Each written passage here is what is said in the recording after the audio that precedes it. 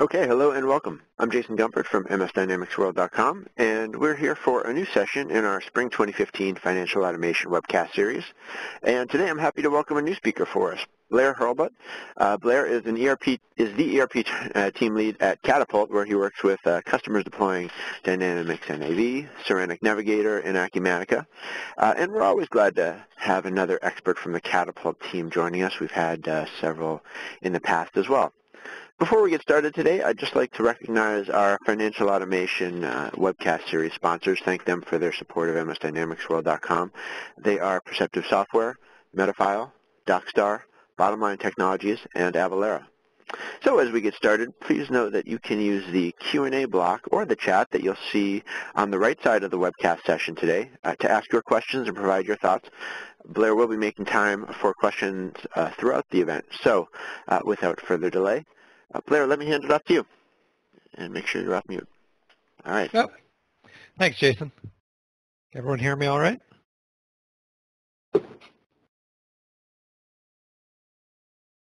Okay, hello and welcome to today's webcast, everybody. I'm Jason Gumpert from MSDynamicsWorld.com, and we are here for a session on building dashboards with Microsoft Dynamics GP. Uh, today's speaker is someone who probably needs little introduction to many of you. Mark Polino is a Microsoft MVP and a GP veteran who has uh, been an active voice in the GP community uh, for quite a while as, as a champion of the product, also the professional community and the user community. It's always a pleasure to have Mark back. He's a returning speaker for us, and um, I think it's especially nice to have him back for a topic that gets as much interest from our readers as this one does. We had a great response for this session.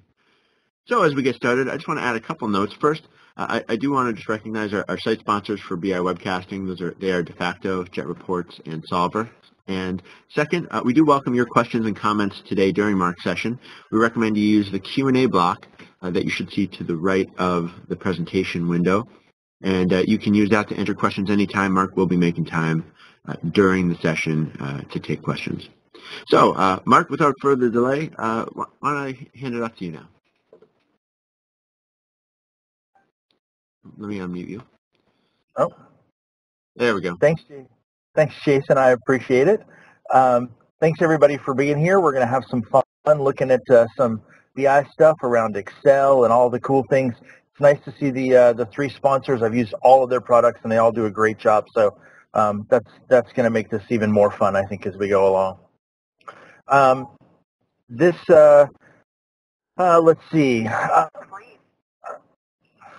If uh, if you get a minute, tweet, blog, update Facebook, let folks know you're here, you're having fun, you're playing around with dashboards and uh, and doing something cool on a uh, Thursday afternoon here. And then this presentation, a lot of it we're going to actually be live inside of Microsoft Excel. But if you want some of the basics, there's some reference stuff up here. Um, it's also available now at dynamicaccounting.net, which is my website. A lot of stuff around GP, dynamicaccounting.net slash presentation. All right, so let's get rolling. Um, for many folks, what happens is someone at the C-level, CFO, CEO, um, someone like that says, I'd like a dashboard. I was visiting with one of my CFO friends. They run their whole business off of a dashboard, and I want one. And, you know, as, as an accountant or as a financial person, you want to help. You say, great, what would you like on your dashboard? And the most common answer is, I don't know, but I'll know it when I see it. And so that's really what leads us into Microsoft Excel as a great place to start building dashboards. Uh, it's because of its flexibility, its ability to connect into GP to be able to pull data out. It's a great starting point to figure out what actually folks want on their dashboards. So I'm not suggesting maybe that Excel is the be all and end all or that, you know, 10 years later that's still where you will live. Some companies feel the need to grow into tools like Jet Reports or Facto or BI360 from Solver. So all of those are fantastic. Excel becomes a great tool to start with because most folks already have it in-house and then you can figure out what you actually need so that if you do decide you want to go look at a tool, you're not, um, you're not coming from a point of nothing. You're not starting from zero. You actually can say, here's my Excel dashboard. Here's what I want it to look like. Here's maybe where we're having a challenge. Here's where Excel works really well. So it's a great starting point. Today we're going to look at kind of what should be, how you figure out what should be on your dashboard, where do you find the data, how do you kind of get started, and then we're going to build a dashboard while we're here, and we'll spend a minute or two talking about what's good about it and what's bad about it.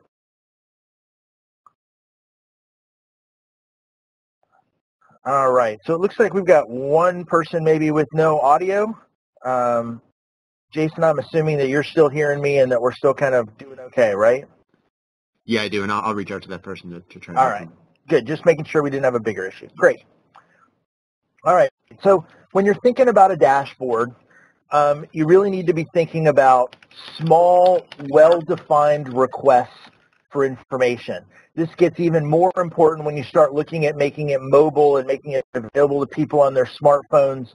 Um, but even on the desktop, this is a dashboard, it's not a report. We don't want something that is 300 pages long. We want to distill this into a nugget of information that can be used to help make a decision around our business. Um, while trends are important, I don't necessarily need to show a three-year chart on a dashboard. Um, you know, what happened two years ago is probably irrelevant at this point in time. If I'm making decisions, I care a lot about what's going on in the immediate, um, maybe in the immediate past or what we're predicting for the future. So you want to look at information that is kind of small, well-defined requests. You want your information to be timely, but you've also got to put a box around that. So as we start to look at this, we'll play with maybe the last 90 days, something like that. Um, another piece that becomes important is where do I get this information? So if something is available some other way in GP, but maybe it's hard, that's a great thing to think about sticking on your dashboard because, because that data already exists, it's coming from somewhere, and either you can figure out where it's coming from or you can get some help so that maybe now you no longer have to run a 300 report to pluck that number off the bottom. You can just take that number and make it appear on your dashboard. Those are great places, uh, great pieces of info to stick on your dashboard.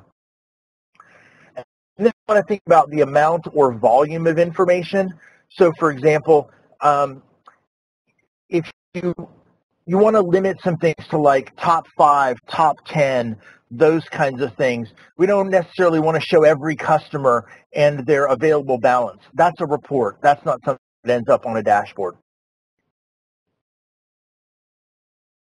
All right, so we're going to build a dashboard here.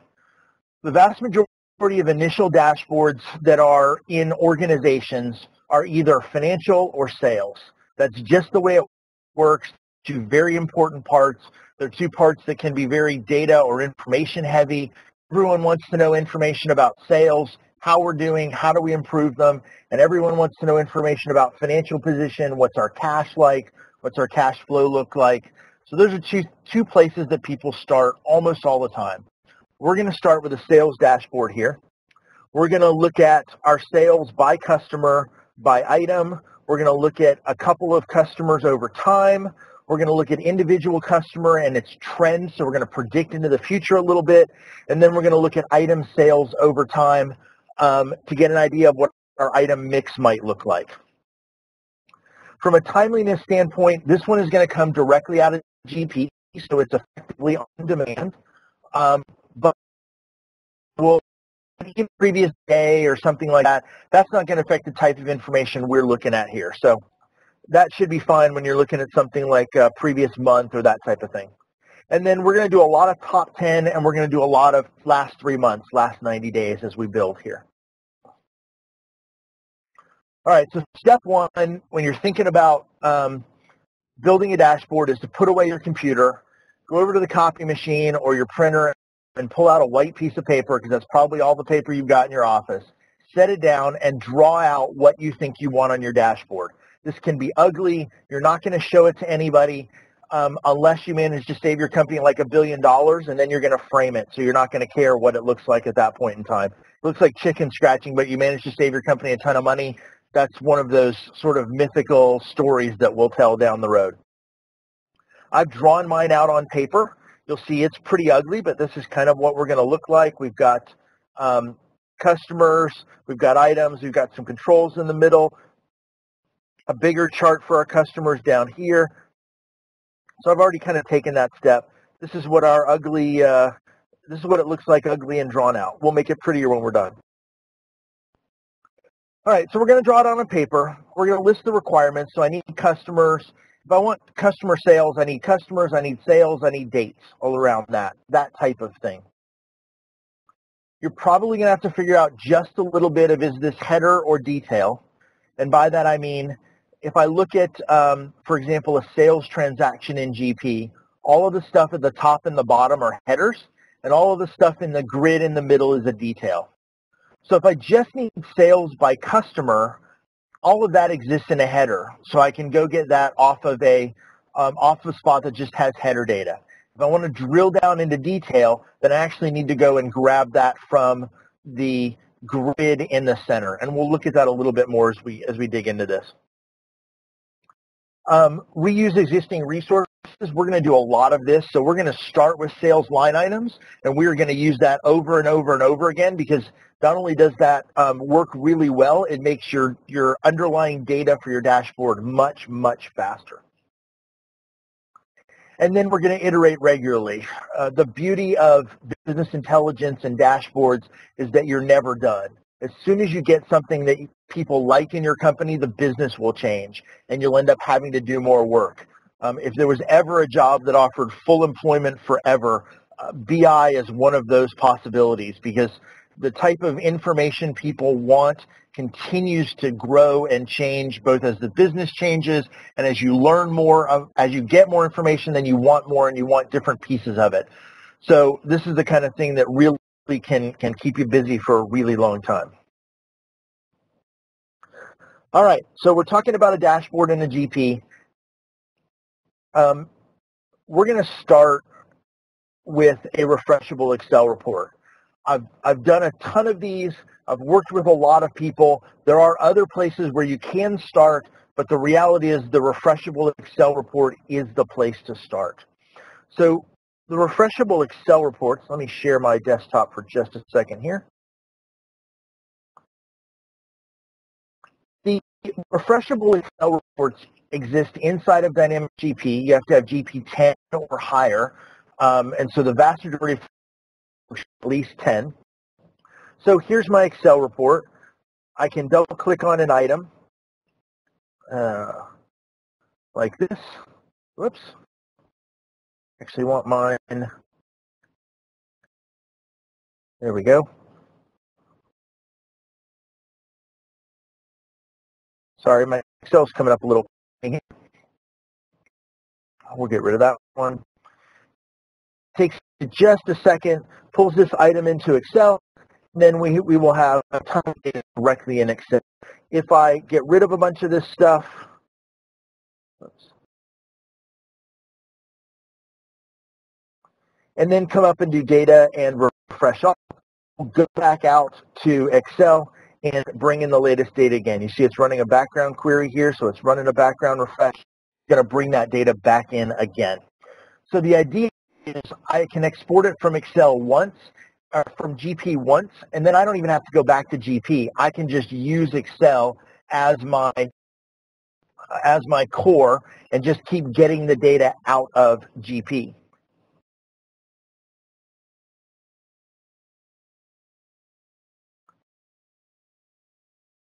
All right, let's come back here for just a minute. Um, the refreshable Excel reports in GP run on built-in views. So what happens is um, ultimately we want to be able to use these views as a starting point. Now as you grow and get a little better at this, we'll modify these views along the way so that they're a little more efficient. But these underlying views is really what, this is really what you're using to grab the data out of GP and stick it into Excel. Um,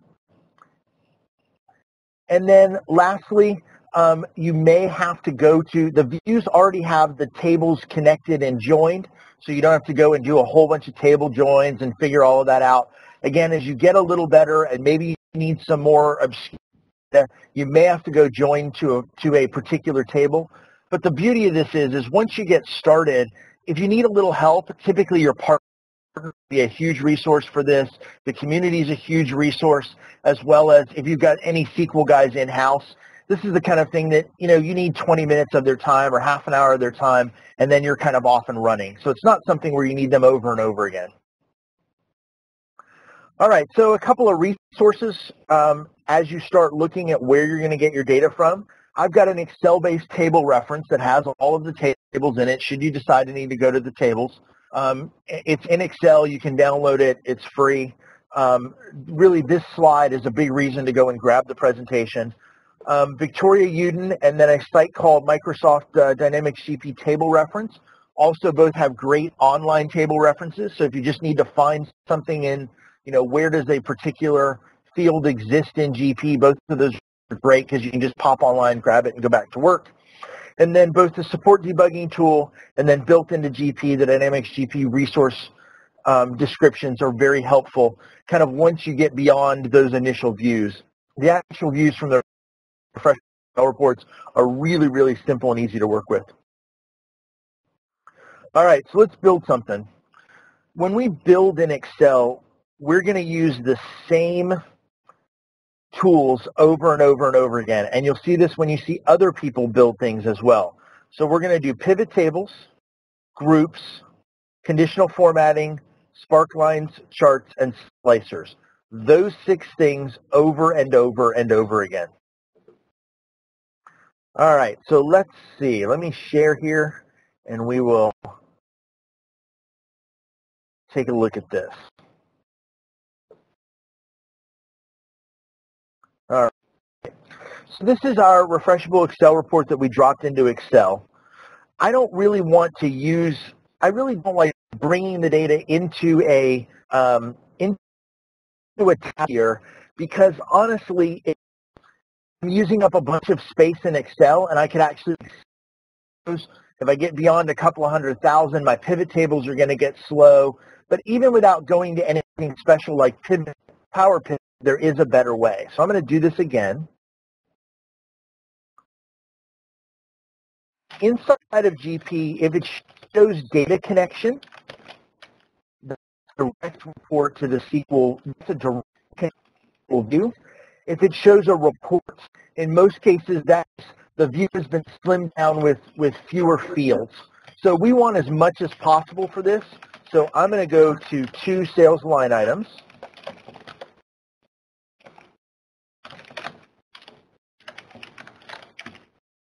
Hey, Jason, I'm getting some typing in my in my audio, and so I don't know if other folks are hearing that as well, but I just thought I'd mention that. Okay, sorry about that. That's fine. So when I do an, a data connection, what I get is um, I get this import data piece here. And so instead of bringing this into a table and actually bringing it into Excel, I'm going to bring this into um, a pivot table report. So I'm going to click OK. Let me get rid of that. All right. All right, so I'm going to come in here and I've got some information. Here's all of my stuff from the field here. And so I'm going to come over here and let's grab, uh, we want customer sales so we're going to drag customer name into our pivot table, and we are going to grab, now I'm at the line item level with these because I grabbed sales line items. So I'm going to grab the extended cost from an item and bring that into there. So now I have customers and I have extended costs. But let's actually make this useful here. So I'm going to come over here and right click and I'm going to filter this. I want to show the top 10. So I want to show the top 10 um, items by extended cost here. All right, and I'm going to clean this up. This is just ordinary Excel. I'm going to sort this largest to smallest. And let's do some basic formatting. We're building a dashboard, not a report, so I certainly don't need pennies. I can actually even just go to thousands. I don't need to go even that far, but we'll just leave this here for now. I'm going to give myself a little room. All right, so now I have top 10 customers by sales. So that's kind of useful to me. I don't really understand what this is yet, but it's a start. So this is um, all of sales order processing. So this includes um, invoices, quotes, all that sort of thing. And I really, uh, returns are in here as positives, and that's really not what I want. So I'm going to clean this up a little bit. Let's come here and insert a slicer, which is really just a form of filtering. And I'm going to filter this by SOP type.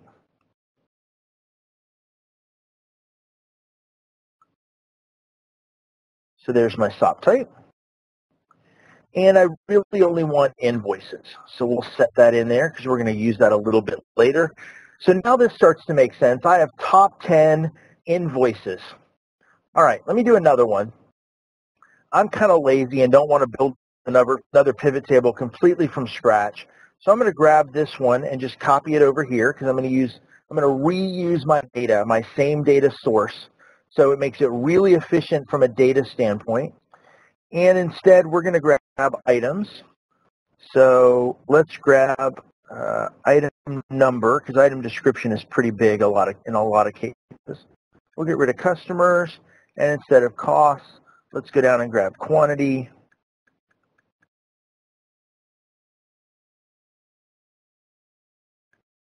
There we go. And I can do the exact same and filter this with the top 10 and away we go. And let me resort this. All right, so now I have top 10 customers and I have top 10 items based on invoices. So this is just kind of raw sales out. If I don't have a lot of returns or, or things like that, this is actually probably a pretty good number. Um, but I don't have a time period for this. So um, one other thing, this filter is actually changing both these pivot tables. Uh, because I applied this slicer to this pivot table and then copied it, it went along with it. So if I actually right click here and say report connection, I see both of these pivot tables are attached. Um, one more little tip, when you're building this for real and you select a pivot table, we can pop over here into Analyze and actually rename our pivot table. If you rename it, that makes it a whole lot easier to figure out what pivot table you're working with when you start looking at things like connecting in slicers. So if I name these, then when I do report connections, I can actually see really easily which ones are connected to this slicer and which ones aren't. So I want to add another slicer with some dates. I'm going to do a special slicer called a timeline. This is an Excel 2013 feature. So I'm going to drop in a timeline based on document date. And we will drag that up here. And so now I can say, because this is sample data, I can say that what I really want to see is January to March. All right, so that starts to make some sense to me. Um, I'm looking at uh, my costs, my inventory. Let's take a look at this. This filter if I change this to April, these numbers change, my items did not. So this particular pivot table is not yet connected to this timeline. So let me go ahead and connect it here. Report connection will add pivot table 2. So now everything's all connected up. Uh, one more thing I want to point out. This, these are items. These are the top 10 items. But because I have some ties, and especially because I have a tie at the end, there's actually 11 items in this list. Um, Microsoft Excel handles ties by adding to the bottom. Uh, it's so this even though we set top 10, uh, the, all of the ties show up. So if there's you know 20 of these last items, then this pivot table will grow longer. So that can be a consideration. We'll talk about that a little more as we go on here. All right, so we've used pivot tables. We've used slicers, we've used timelines. A couple other things, let's take a look at a chart. Again, I'm going to grab a copy of this. We'll drop it down here. Uh, what I'd really like to do is add um, document date now.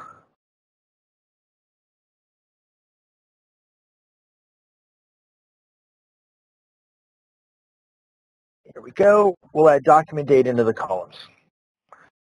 So that's not particularly useful to me, seeing all the individual days. But if I here, I can actually right-click and let's group this. And I want to group it by months and by years so that if I do cross a year, I can actually tell it doesn't group the months together that way. So here, what I've got now, this is still, because I copied this, this is still connected to my other slicers. So now I have my top 10 customers, their sales over the last three months, but not just for one, not just gross for the period. I've actually got them now by month. And if I want to know a little bit more about these, so this is kind of cool. These guys, they're going up. That's definitely going up. That's headed down. I'll tell you what, let's get a better idea of the trend. So I'm going to grab this section here, and I'm going to insert a spark line. We'll grab a line. Then I can copy this down. These are clearly the types of um, these are clearly the types of trends I want to see if I'm looking at sales. I want hockey sticks that go up and to the right. You know, this is not the kind of trend I want to see. This one looks like maybe it's topped out. This one appears to have bottomed out and is coming back. Three months is a little short sometimes for some of these, but it does give you a quick hit of what your trend looks like or what your chart would look without having to go and build a chart for every single customer, which gets really time consuming. All right, so I've got something to start playing with there. Um, one more thing before we go any further. If I want to better look at these items, you come up here, and I can do conditional formatting. So with conditional formatting, I can say that I want data bars, and I get this nice little gradient. This really shows how much bigger the top item is and how much bigger these first few items are even against the other items that are in the top 10. Just visually, it really kind of makes that piece stand out. All right, so let's grab a chart of this. I want to analyze just one customer at a time. So I'm going to insert, we'll do a pivot chart here, and oops, let's just do chart.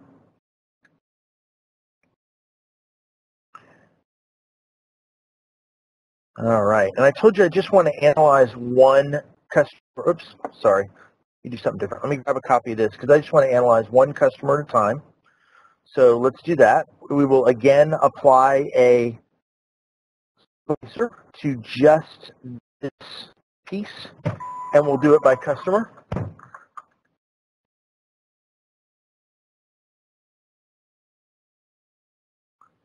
Uh, customer name. And we'll drop that in here. And let's say that I want to analyze Plaza 1.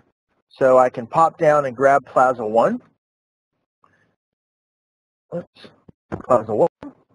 And I'm going to drop a chart on top of this. So let's insert uh, a nice chart here.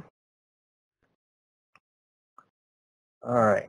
So that's kind of a, a decent starting point.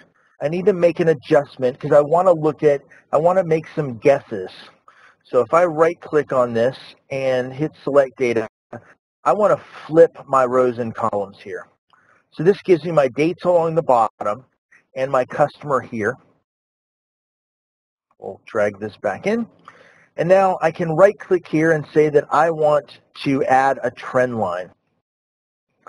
And what a trend line does is it's going to show you the trend that's going on and we can even predict forward.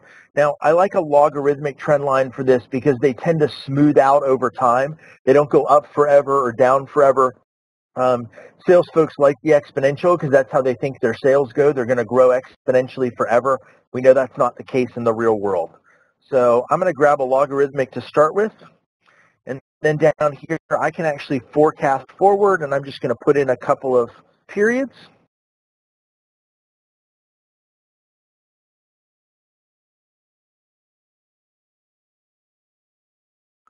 All right, making sure we're still going on here. So I can forecast forward and enter there. And so it's going to make a statistical guess on where my sales are going over the next two periods.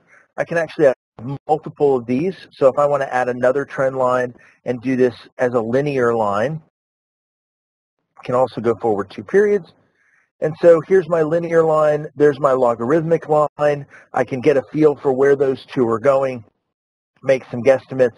If I want to do another company, um, you know, we've got uh, kind of blue yonder airlines here. Let's see what they look like. Again, I'm not sure that three is, is really always enough months to do a great trend, but certainly if you have 12 months worth of data uh, or, you know, six months worth of data, you can actually make a pretty good guess at the trends. And uh, honestly, this is sample data, so sometimes you get some weird stuff, but that kind of gives you an idea. All right, so last thing let's go ahead and grab this. And to get an idea of my item mix, I'm going to drop this down here. We are going to come back to our pivot table, and we're also going to throw in doc date here.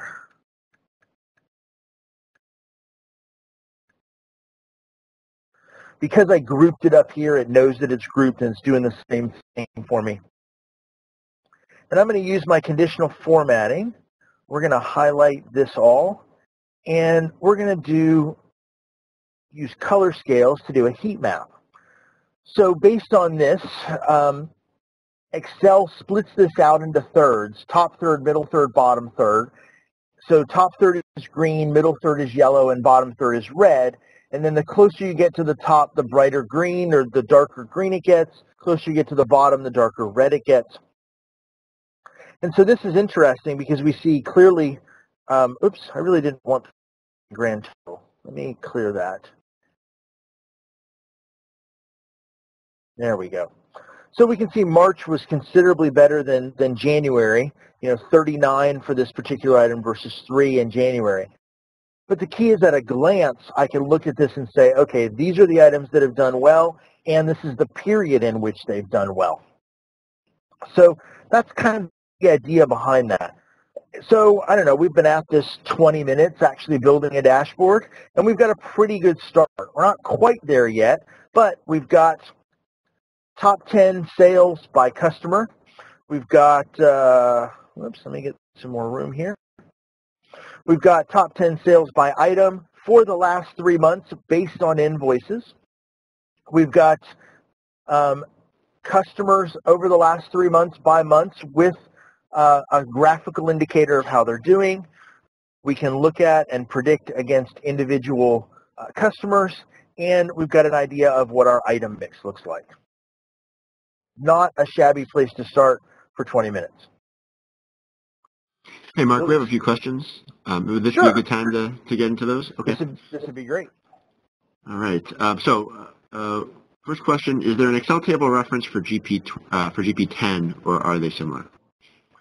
Um, there should be one for 10, but it's going to be very similar to the 2010 one. There were not a lot of table changes. All right. Is the data connection read-only? The data connection is read-only. You can only pull data out of out of GP and into Excel. All right. Um, earlier on, um, uh, Greg wrote that uh, he was unable to see how you connected Excel to GP just due, due to some screen latency. Is that something you could show again? Sure. So inside of GP, there. So here I'm in sales. Typically, you would see this sales um, window here. So in the navigation list on the left, we've got Excel reports. So they do have to be deployed. If yours aren't deployed, your, your partner can help you or you can look it up on the web. They, they take five minutes to deploy. We'll talk just a bit about security at the end. So I went and found the one that I wanted. Um, yeah, Mark, I should mention, I'm sorry, when, you, when you're doing your desktop sharing, it sounds like you're hitting sort of a bandwidth limit and you're, you break up a little bit. So I would uh, uh, okay. pause on whatever parts you want to make sure folks see. Okay. So from here, it's just a matter of clicking on the specific um, the specific item. And when I do that, Excel is going to launch with data.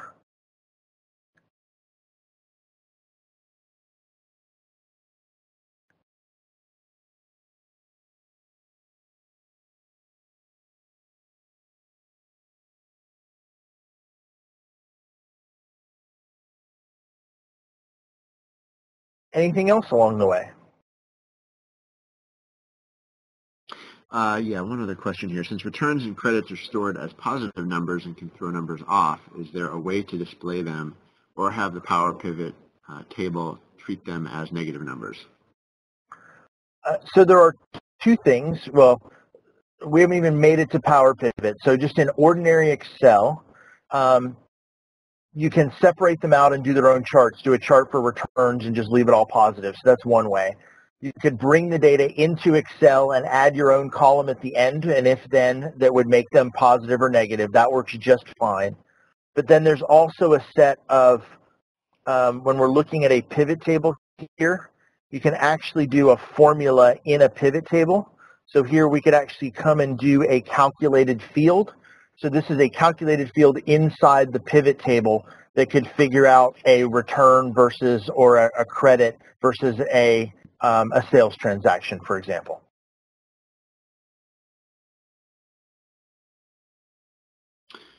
All right, a couple more that have come in, if that's okay. Sure. How do you filter the data that comes into the Excel table? If you're using refreshable Excel reports, you really can't.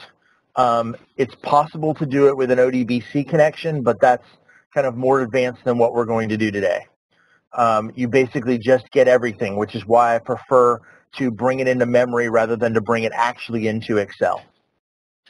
Um, however, just to be clear, if you slim down the view, um, I've actually, we'll, we'll look at a dashboard later on that runs off of um, the refreshable Excel report view. And basically, I just removed a bunch of the fields that I don't use, and it refreshes um, sales order transactions. Uh, we've tested it with a company that has 3 million sales order transactions, and it refreshes in about 30 seconds which is um, reasonable for most folks in terms of a refresh. Okay, and uh, this next question, you might have just touched on it, but why not use um, Power Pivot to hit views, um, then GP isn't needed um, if you have proper, uh, assuming you have proper permissions? Um, absolutely no reason not to use Power Pivot other than a lot of folks don't have it. Um, still don't have it. They're still using Excel 2010 or um, they're using one of the versions of Excel 2013 that doesn't have Power Pivot or didn't have Power Pivot included, or folks still just don't know how to use Power Pivot versus just straight Excel. Okay. Power Pivot works just fine. And uh, there's a question about the first example. You changed uh, to a pivot table instead of, a, uh, did you change to a pivot table instead of Excel, and can you redo that first step again after you selected the refreshable Excel report? Sure. So if you do a data connection, if you use a data connection in your refreshable Excel report, not a report, they both get deployed. This is kind of everything, and this is someone at Microsoft built a slimmer version of it in a report. If you use a data connection, this box pops up that says import data. And the trick is rather than picking table to actually bring it into Excel, you pick pivot table report and that way it holds it in memory rather than placing it in an Excel sheet. If you were to check add this to the data model, it would actually bring it into Power Pivot then on top of that.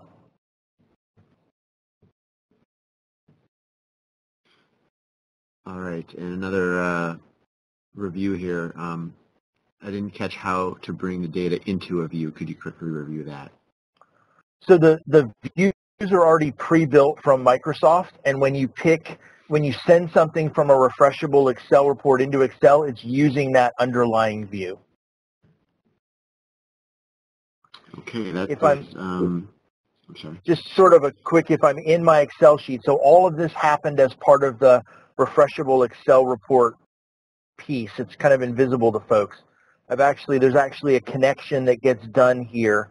And so this is the connection. It points to a, a connection file that is connected to the view.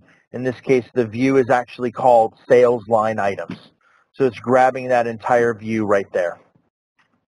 Uh, and if you bring it in this way, is it live ongoing data? It is live ongoing data. And uh, Patricia asks, how can we build our own query? Um, if you um, maybe little bit more for more than what we can get into too much here. But if you build your own view and give folks permission to it, um, inside of Excel, if you bring that in as a connection and export it as a connection file, that creates a file called an ODC connection. If you put that in the exact same place on the network as all of the other Excel reports, you can actually see it inside of um, GP. Or you can just access it directly through Excel. So an awful lot of folks start with the GP view, they make some changes to it, and then they save it. And you just, um, from, from there, it's really all Excel stuff at that point in time to just connect to the view. I'm only seeing one other question right now. It's asking about Excel Report Builder. Um, can you use that to create these reports? Yes, you can. Excel Report Builder is another way. It creates its own view behind the scenes, but a, an Excel Report Builder-based report works exactly the same as this does. All right, uh, we are through the question queue at this point. All right, so let's let's then get to the stuff that makes this really cool here. So all we did, we did pivot tables, we grouped our dates, we did conditional formatting for um, sort of highlighting data and building a heat map. We did spark lines to give us an idea of individual customers. We did a chart with a trend and then we did slicers as a filter for all of those pieces. All right, so let's talk about a couple of other things. The, the fact that I have a um, Excel sheet that has what I want on and looks kind of cool doesn't mean I have a dashboard. There is at least one more thing you have to do before you I will let you say that you have a dashboard. And frankly, if you sit through here and you don't do this thing, this is the one thing you must do. If you don't do this, I will get your email from Jason and I will hunt you down. So let me show this off here. To really make this look like a dashboard, what we need to do is come in here to view and turn off grid lines that item alone removes that Excel feel to it and really makes this thing look more like a dashboard. Now later on, if you want to remove the, the headers or hide the formula bar, all of that's fine. You'll do that last anyway, but really, really remove the grid lines. Uh, I was talking to someone and they were actually, they, they had told me a story. It was a partner who'd been dealing with a customer and someone at the customer built an Excel report similar to what we did here, but they left the grid lines in. And they were making an argument that the company should be using Excel instead of going out and spending a lot of money on a BI product. And when the senior execs saw the grid lines, it turned them off so much that they chose to go and spend the money on a BI product. So really, you really need to come and make sure that you turn this piece off. And then after that, we really want to just do our best to make this look good. I don't pretend to be a graphic designer. The marketing folks will help you if you buy them lunch because they've never had lunch bought from an accounting person. Um, but if you need a little help, go get it. But a couple of things that, and we'll, we'll look at some examples here. Uh, a couple of things that work really well. Insert your company's logo. Everybody likes a logo. Um, Everybody loves to see their logo. Execs love to see their logo. If you can walk through an airport with a CEO and his logo's on the wall and he doesn't stop to look at it, something's wrong. It just, it's sort of the way they're wired. So I'm just going to grab something here. Um, this is not spectacular. Um, I'm just kind of grabbing whatever I can in order to, uh, to drop this piece in.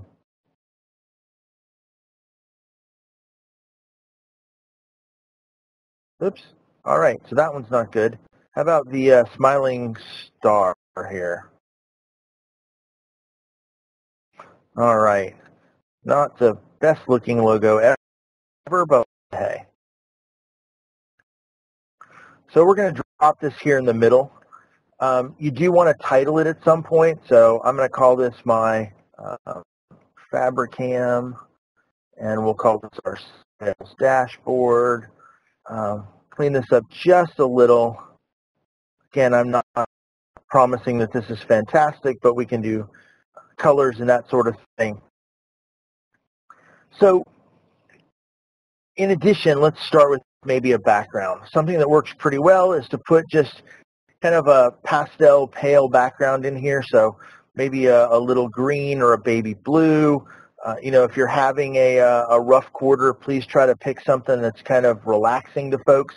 Maybe that'll make them feel a little better along the way. You can use, um, so let me get rid of this. You can use a background, a full bleed background. I don't recommend it. We'll look at one example where someone did a really good job, but you know you don't necessarily want to come in here and do uh, uh, full-blown picture on the background. It tends to make things really hard to read. So let me just grab a picture here. Um, nature's pretty safe. Um,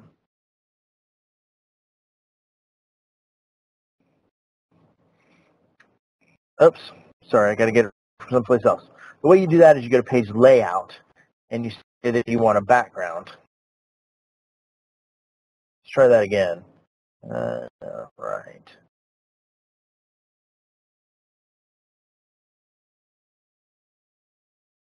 Uh, if you have a colored background at all, it will override that. So let me, I made it white instead of no fill, so no fill. Right, so that's pretty hard to read. Even if I fiddle with these, that's going to be pretty hard to read. Although you can, for example, it's just Excel, so you can come in here and highlight these with background items to make them stand out, something like that. In addition, all of these elements, the slicers, the pivot tables, all these slicer here and come into options. I can change this to other color can do with it. I can also do things to um, in size and properties. I can do things here. Ah, hey, Mark, sorry. we've been losing anyway. your audio for about the last uh, 10 seconds or so. Okay. So let me just sort of leave that here. We can do a lot of adjustments with this in terms of color, making them bigger, smaller. We can make the bars at the top disappear, make them go away. Um, there's a ton of functionality in terms of customizing this. So don't be afraid to really try to make this match you know, your company's color scheme. I do want to uh, get rid of my background here because that's really annoying. Oops.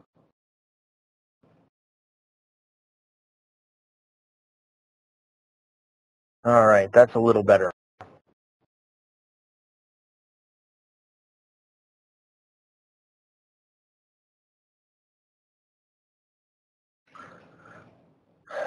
Um, a couple of other formatting things here. Charts versus pivot tables. Um, we're going to spend a minute on that. So let me go ahead and go there. As an, this is a this is not an Excel-based dashboard. This is a um, this is a company called uh, ViewPost. They do a dashboard type of thing that plugs into GP. It lets customers and vendors see their um, see their balances in GP. It links in. It's all free, but it's all on the web. The, the point of this is they could lay this out any way they want. And what they did was they laid a chart on top, detail on the bottom. This is a format that works really well for Excel-based dashboards because it gives pivot tables and other information room to shrink and grow. And charts, which tend to be very, very fixed, they shrink and grow inside the chart box. Um, they work really well if you're trying to contain your elements. So part of my point around this is even though these guys are not constrained by Excel, they're using a set of rules that also work really well inside of Excel. So let's take a look at some. Um, pivot tables shrink and grow horizontally. So you want to you want to put them in a place where they're not going to run into each other or into other things. Because if I add if I if my users add months or other things to it, I want to make sure that we're not destroying the look and feel of this. You're going to want to play with that. Um, Mark, is this a good time to bring in some questions? yeah, let's tackle some questions. All right. Um, so let's see here. Uh, someone who has your GP 2013 and Excel 2013 um, dashboard book, um, are there any areas uh, in there that go over some of these points that you just covered in the last section? Um, there is there are some pieces in there. I didn't spend a ton of time on that, but there there are some pieces in there around that. Yes. Um, all right. Are you? Uh, can you show how to link Excel to Word and still be refreshable? Um, probably not within the scope of this, but that's something that we Mhm. can maybe look at tackling. Another kind of scope-related question here: Is there a preferred way to move this dashboard to an intranet site, or is that uh, outside the scope? We'll talk about that a little bit when we get to the end.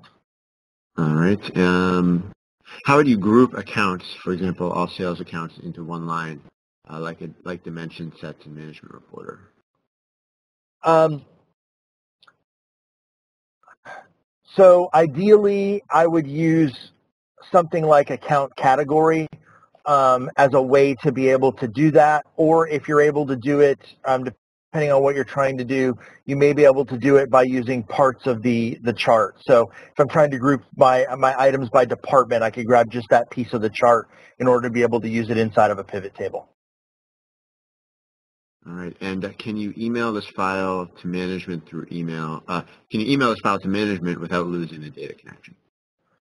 Um, if management has access to the data, meaning they're either in the they're either on the network or they are connected via VPN or something like that, and they have security, absolutely, works just fine.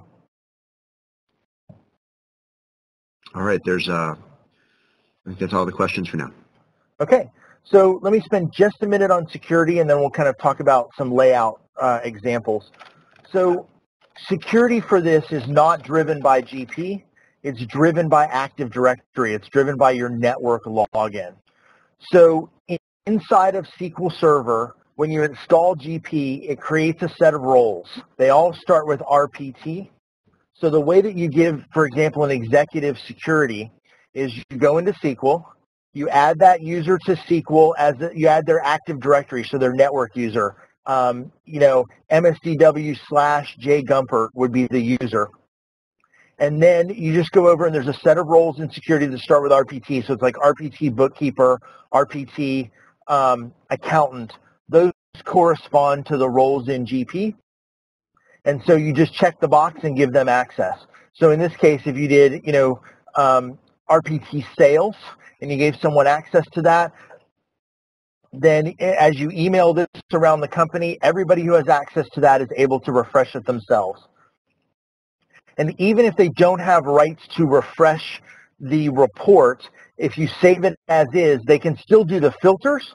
So they're still able to say, well, what does my department look like? What is my um, what does my customer look like? What about this timeline? They just don't have the latest. They just don't have the latest underlying data. So, for example, if you were to put this in a place where folks could access it every day, even if they don't have the rights to refresh it, as long as you're refreshing it and putting it someplace once a day, then they're still able to play with it and interact with the information. All right, let's look at some examples. Um, this is a Microsoft dashboard for GP. You can download it and install it. There's about six connections that you have to sort of put together, but the instructions are in there. Um, kind of pros and cons. It's a little um, word heavy for me. In other words, there's a lot of just data points in here. The, however, the chart here is fantastic. So this is cash flow. Cash in goes up, cash out goes down. The net cash position is the line in the middle. I I think that's a fantastic use of a dashboard from a cash flow standpoint. Again, this is one you can download for free and just plug into your GP. Um, this is one of my favorites. Uh, a guy wrote a book on the U.S. national debt, and he used Microsoft Excel to do the analysis. What I love about this is he stuck, this is a, a graphic that goes on the top back. So this is like a full bleed picture, but it only goes part way. It's like using a wallpaper border in your house rather than wallpapering the whole thing.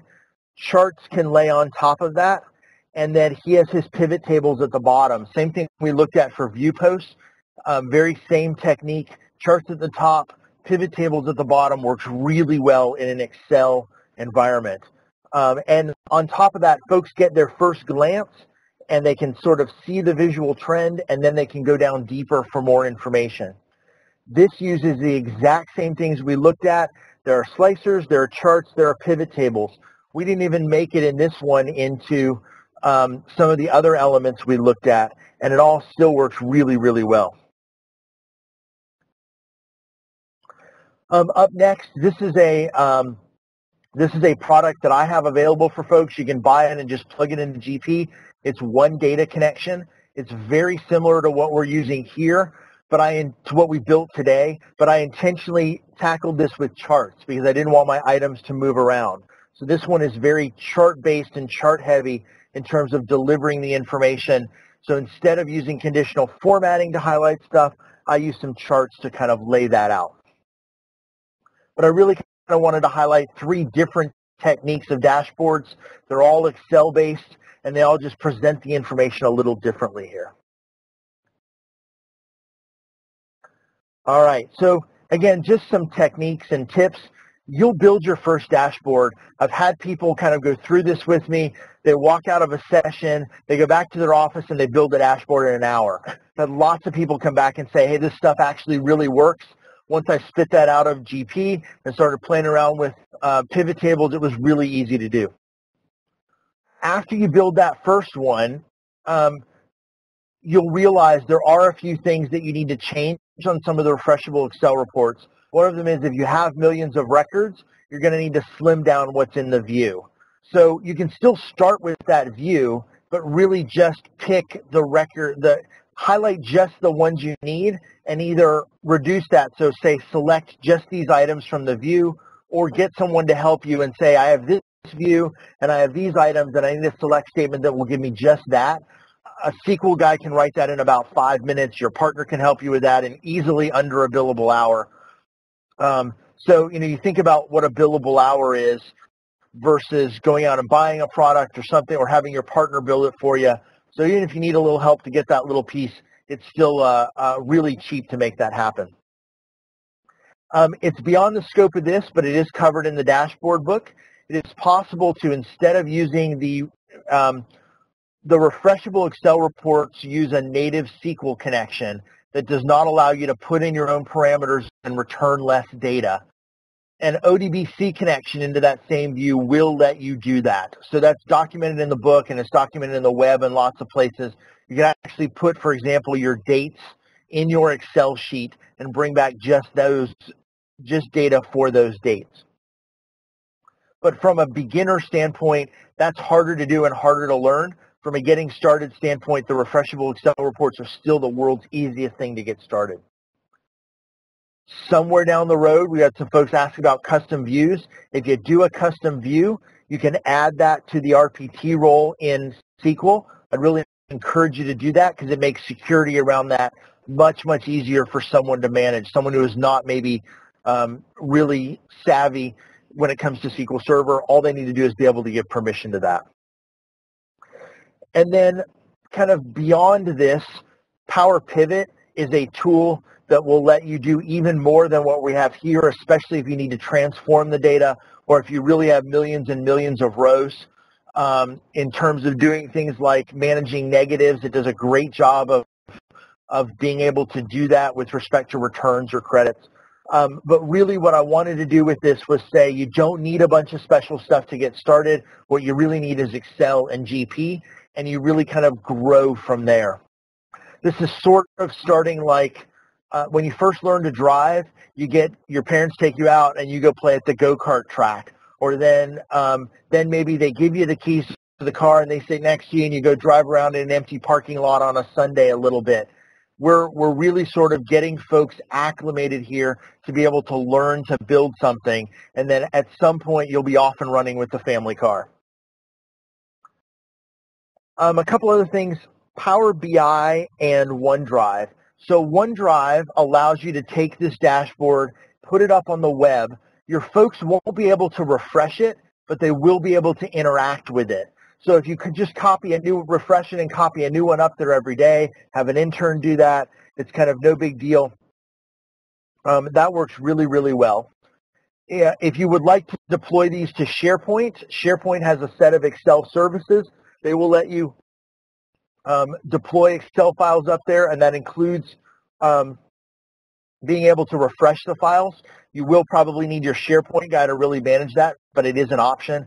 Also an option to deploy the refreshable Excel reports to SharePoint and make those available in your SharePoint library.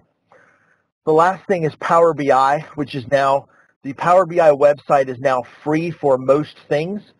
Um, it does not include auto refresh yet, but it will connect to an Excel file. So you can build a refreshable Excel report. Um, you still would have to click the button to do the refresh, but that's not a big deal.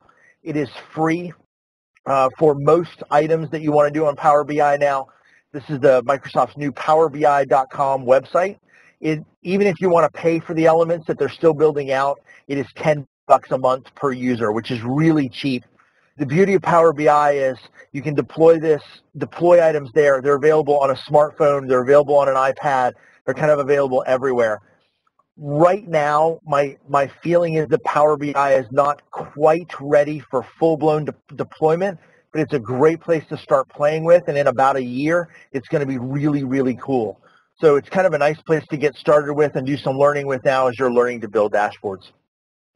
Um, Jason, let me uh, do a couple things here at the end, and then we'll tackle any remaining questions if that's all right.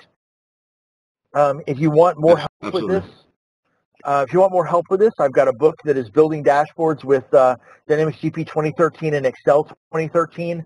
The question I get a lot is, what about GP 2010 or what about GP 2015? It works great for both of those. Um, if you're using Excel 2010, the only thing that will, you will not be able to do is timelines because those are an Excel 2013 only feature. Uh, but you can work around that with a slicer. So all of those, the book works beautifully for that. We just wrote it with 2013 out, and um, when GP 2013 was out, but it still works just fine with 2015 as well. Um, if you're looking to shortcut all of this and just plug in a dashboard, um, kind of the one I showed earlier is available. It's 199 bucks. It's about as cheap as you can get. So, you know, for the price of a of a consulting hour for a lot of people, you can actually have a dashboard, plug it in. It takes about five minutes to run. Security is completely defined in the in the help document there as well. So that's an option too. If you just want stuff, uh, just want some other help with GP, the 2013 or 2010 cookbook are great resources. I'm the author of those. And last but not least, if you just want something fun to read, uh, my first novel's out, Death from Above. It's on Amazon. It's probably going to go exclusive on Amazon here uh, in a couple of weeks to uh, make it easier for some folks to get it. So that's that. I will leave this up with some reference information, and then uh, if there's any final questions, I think we're kind of at our time here since we've been taking questions throughout, but we'll tackle those too. Okay, great. There are a couple others that came in. Um, actually, just about Power Pivot. So um, can you pull a Power Pivot plug in to Excel 2013 and um, can you just talk about how you um, how you actually get Power Pivot? Is it included with Excel or is third or is it third party?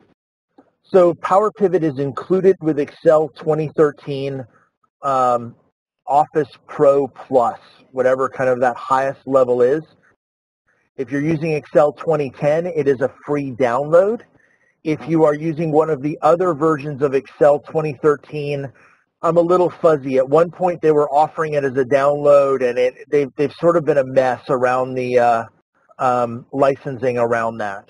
It is a plugin for Excel. I don't want to um, and it basically it shows up here as Power Pivot. I kind of don't want to crush my um, connection as we do this, but essentially what Power Pivot does is it brings the data into memory and then allows you to build, um, it allows you to manipulate that data. So it has its own formula style language called DAX, Data Analysis Expressions. So if you want to manipulate the data, make changes to it, all that type of thing, and then it lets you build pivot tables off of that inside of Excel. So if you have millions of rows, Power Pivot works beautifully. If you have data that needs a lot of um, maybe transformation or cleanup before you're ready to pull it in. If you want to connect mm, uh, Dynamics GP to other data sources, um, Salesforce, CRM, something custom, Power Pivot can help you connect all of those pieces as well to give you a dashboard that, that crosses multiple products.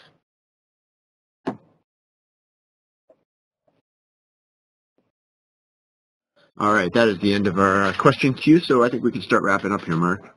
Um, yeah, thanks again for taking the time to, to present so much information to us, and, and yeah, for everyone on the, on the line, um, I've heard a ton of folks say good things about all these different materials that Mark has created over over the last couple of years here. So definitely check out the dashboards, uh, the books, uh, all of it. Uh, we are recording today's event. We'll make that available soon. When you exit today, guys, please um, be on the lookout for a quick survey that pops up. We really appreciate the feedback on the session, on the uh, the platform. I know our speakers do as well. It should only take 15 or 20 seconds. Uh, with that, uh, Mark, let me just say thanks to you once again, and uh, thanks to the audience for attending today. And yeah, thanks everyone for coming. We really appreciate you being here. Absolutely. And that will conclude today's session. Bye.